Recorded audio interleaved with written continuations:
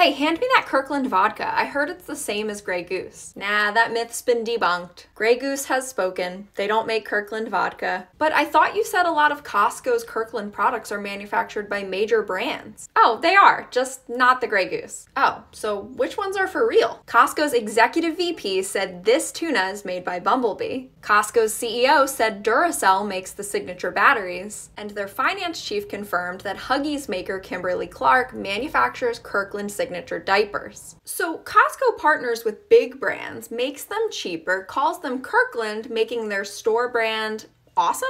Yeah, pretty much. Can Costco sell college?